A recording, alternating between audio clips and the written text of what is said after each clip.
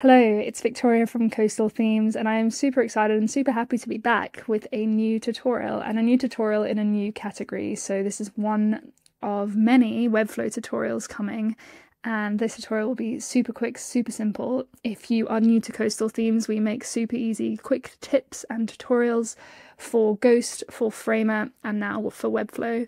And we also sell templates for all three of these platforms, so you can check those out in the link below. In this video, I'm going to show you quickly how to add a button in Webflow. Super easy, super simple, and how to customize the settings and the styling. Top left in your Webflow interface, you've got this plus icon. Webflow gives us loads of pre-made elements, so we can see we've got sections, we've got some basic elements where that's where the button is. We've also got typography, CMS, ecom, media, forms, and loads more. But what we're going to do is simply click and drag to add the button and you can see it gives you a pre-made button. It also gives you all the settings for linking it to where you need it to go.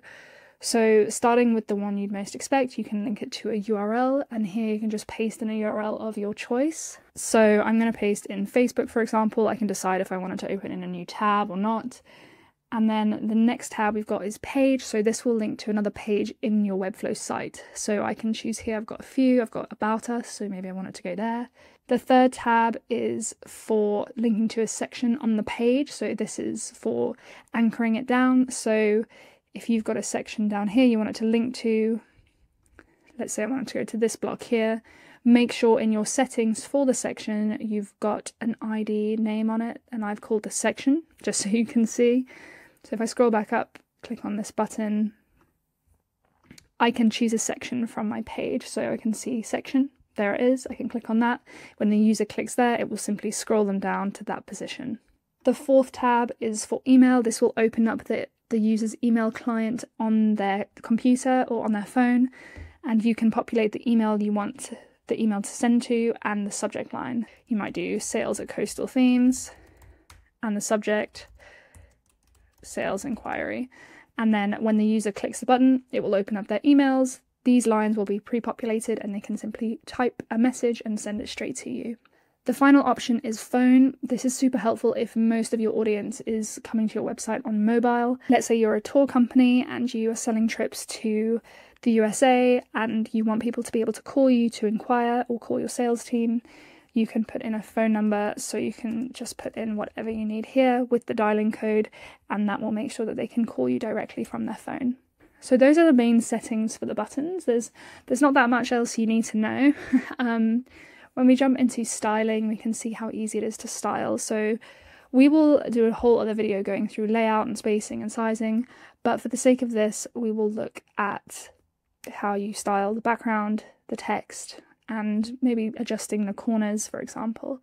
So we can see the background here is blue, but maybe I want it to be a nice corally red and then I want the colour of the fonts to be white. I want a pure white. And then maybe the text needs to be slightly smaller, so I can adjust this here. I can change the weight of the font.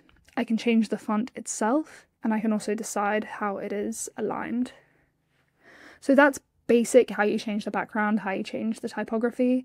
If you want to start changing styling, you can see here we've got some padding. So this, these numbers dictate the padding, the numbers on the outside dictate the margins, but padding is what happens on the inside. So on the left, I've got 15 pixels, but I want to make this 32 pixels, and I want it to be equal on the other side.